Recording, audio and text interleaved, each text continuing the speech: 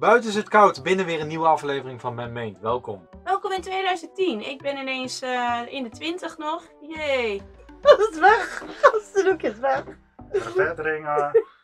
Welkom bij deze aflevering van uh, Men Mee. En leuk dat jij er weer bent. En leuk dat je er weer bent. Nou, jij. Oh, dankjewel. We zien we deze aflevering.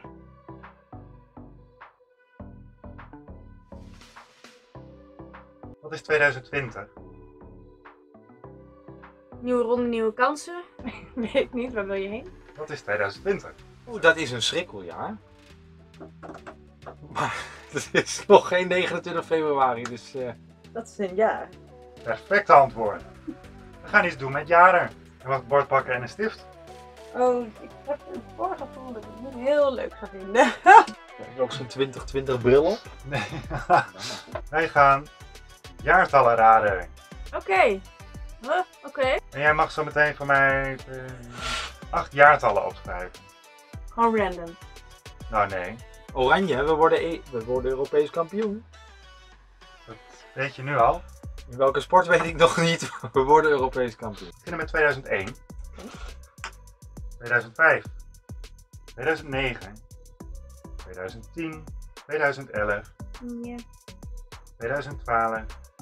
2013. 2017. Ik kom alweer niet uit, hè? Ruimtelijk inzicht. Nul. Ik ga je zo meteen één voor één acht verschillende gebeurtenissen geven. Mhm. Die gebeurtenissen ga jij achter het juiste jaartal zetten. Dan gaan we straks kijken hoeveel je er goed hebt. Erg goeie. krijg je één punt. Nou, dus ik zat al ondertussen te denken en ik dacht, geen flauw idee. Ja. Nadat je ze alle acht hebt, heb je nog één minuut de tijd om te husselen. Waarvoor de gebeurtenissen? Yes! De aardbeving op Haiti. Aha. Oeh. Die zet ik even op 2005, want volgens mij is dat al best wel een tijdje geleden. Ik denk dat dat 2005 was. Ja, oké. Ik ga hem gewoon even ergens neerzetten. Het is nu 2020, dus nou ja, hoe lang is dat geleden? 2010. Lijkt me een beetje Giro 555, 2005. Ik zet hem in 2013. De abdicatie van Beatrix. De wat? Abdicatie. De wat? Oh, dat ze, dat ze wegging. Ik ben toen met een vriendinnetje ben ik naar Amsterdam geweest. Daar eh, zag in het paleis echt dat, dat ze de, de kroning, zeg maar, voor je lijf volgen. Dat is lang. Ik, volgens mij was dat 2001. Want ik, ja, volgens mij wel. Ik gok 2009. Ik zei voor 2013, bye bye Bea. Mogelijk vaccin tegen malaria op de markt. Ik doe hem bij 2001, ik heb geen idee. Omdat, omdat toen die MKZ gebeuren was. Mhm. mhm.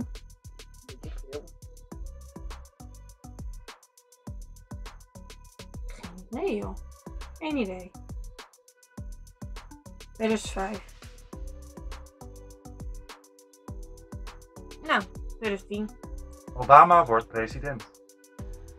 Oeh, dat is al even geleden. Want Trump is er natuurlijk nu al een tijdje. Is hij er volgend jaar niet vier jaar? Oh, dat kan ik terugrekenen. In Amerika is het toch één jaar? Vier jaar. Ik heb geen idee. Ik ben ook wat aan het lullen. Ik heb geen idee. Ja. Moeten we toch gauw 12 jaar terug. Ongeveer. Dan komen we uit in 2008. Nou, dan zeg je 2009. Dit is vier jaar. Eh, die, die laat ik nog even blanco. Dat is 2009. Het overlijden van Whitney Houston. Nee, dat 2017. Dat is nog niet zo lang geleden. Ik zet hem even bij 2017. Oh, wat is dit moeilijk? Ik heb geen idee. Ik denk eh, 2000... 2012, denk ik. Geboorte van prinses Alexia. Dat is de tweede, hè? Alexia, dat is die, die jongste, toch? Ja. Ariane. Oh. Maar die oudste is 16, dan zou die middelste zou 13 kunnen zijn of zo. Alexia? Oh ja, dat, dat weet ik. Alexia? Ja. Dan zal zij iets van 16 zijn, 15, 16, 14 misschien. Amalia is 2003, volgens mij. Nee, 2005. Maar dan heb ik de aardbeving Haiti verkeerd staan. Nee, 2-2-2002. Nee, nou ja, nee. Oh, Alexia, hoe oud is Alexia? Dan zou het 2000, misschien dat zij dan 2005. Dan wil ik eigenlijk hier dan neerzetten bij 2005. Aanslag op World Trade Center. Oh. Dat was 2001. Dus Malaria gaat ook even aan de kant. Kut, is dat dan, de, is dat dan 2001? Ja. Oh. Nee, wacht even. Kut. Welke mis ik dan? Haiti. Dus, nou, dan is Haiti in 2011. Nee. Was dat in 2001? Dan komt de laatste erbij, dat is het overlijden van Amy Winehouse. Weet je dat ik die documentaire van haar tegenkwam, Videoland van week? Toen dacht ik nog, die ga ik deze week even kijken. Die zou je willen maar dat je nu zou ik willen had. dat ik het al gedaan had, want dan had ik dit geweten.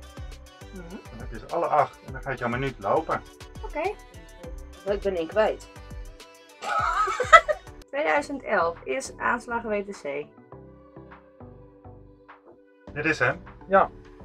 Niks meer wisselen. Maar gewoon als ik zo naar mijn lijn kijk, denk ik, volgens mij heb ik echt alles fout. Echt alles. En daar naartoe. En dan doen we Bea naar 2010.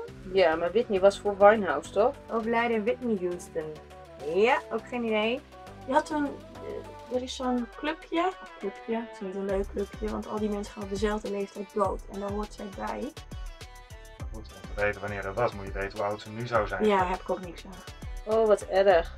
Het enige wat zou kunnen zijn, is Amy Winehouse en Whitney omgedraaid. Ik dacht dat Obama president in 2005, maar anders is Alexia te oud, denk ik.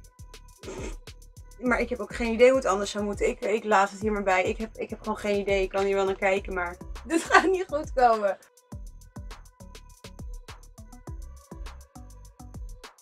Ik vraag jou per jaartal wat jij hebt staan. Ja. En dan hoor je of dat iets anders had moeten of niet. Oké. Kom maar op. 2001 heb jij staan. World Trade Center? World Trade Center. Ja, World Trade Center. Obama president. Wat weet ze? WTC. 2001 was 9-11. Oh, jezus! Aanslag op BTC. Oh, wat erg. 2011, maar dat is 2001. Heb je opgeschreven 2005. Alexia. Bea. Wordt Alexia. Alexia.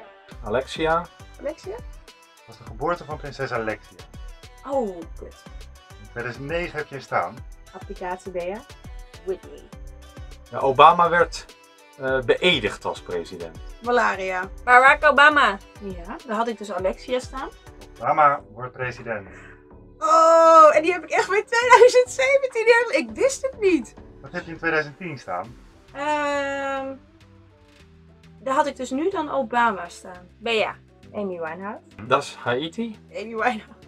Dan is het andersom. Want het volgende jaartal is 2010. En dat was de aardbeving op Haiti. Wat heb je staan in 2011? Amy Winehouse. Haiti. Eh aanslag WTC, maar die was fout. Ik heb Amy Winehouse. Ja, nou zit het helemaal door de knoop heen. Want Winehouse zou dan ook wel geen 2011 zijn. 2011 was Amy Winehouse. Oh, wat zonde. Ik heb die twee omgedraaid. En je moet Goed. de documentaire nog zien. Nou. 2012 Bea. Malaria.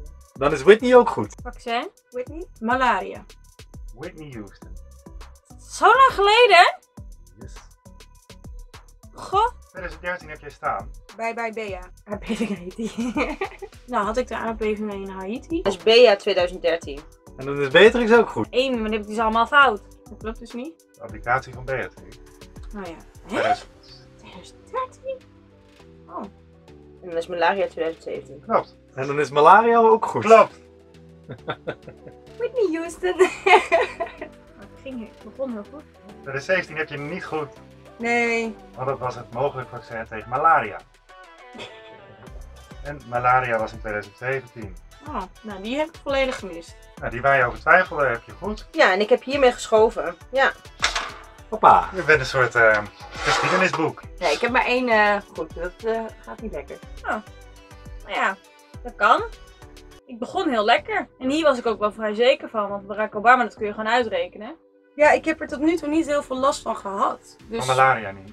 nee. Nee. Dus ik, misschien dat ik daarom niet helemaal eh, op de hoogte was. Er was één iemand die had alles goed. Nee! Wie dan in godsnaam? Marcel. Heeft hij een fotografisch geheugen of zo? Hoe denk je dat de rest dit doet? Nou, ik denk ook niet heel geweldig. Dit weten? Ja. Er is één iemand met alles goed. Niet. Dus hoeveel had je goed? Vier. Van de. Acht. ja, er waren er acht, toch?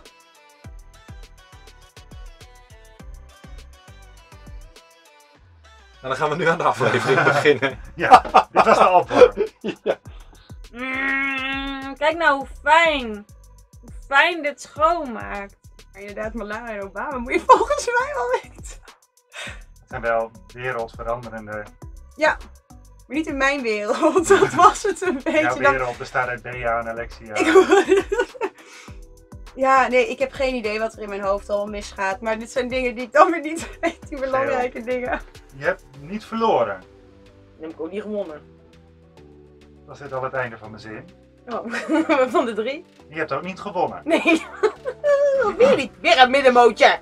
Ik ben van het geboortejaar 1987 en afgezien van het leukste feitje dat ik namelijk eh, geboren ben, is dat eh, de eerste eh, eh, nummer 1 hit van datzelfde jaar was Europe met The Final Countdown. En dat is toch wel een van mijn favoriete guilty pleasures. Wil Dus je die zingen? nee. Feitje uit mijn bouwjaar 1989. Eh, het was de val van de Berlijnse muur. Ik ben niet zo goed in jaartallen. Ik weet wel dat één jaar geleden, niet helemaal een jaar geleden, maar wel vorig jaar, dus in 2019, is mijn meen begonnen.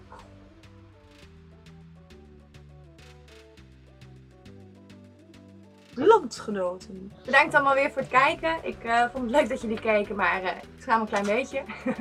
Tot de volgende keer. Vergeet niet te abonneren. Dankjewel. Tot ziens!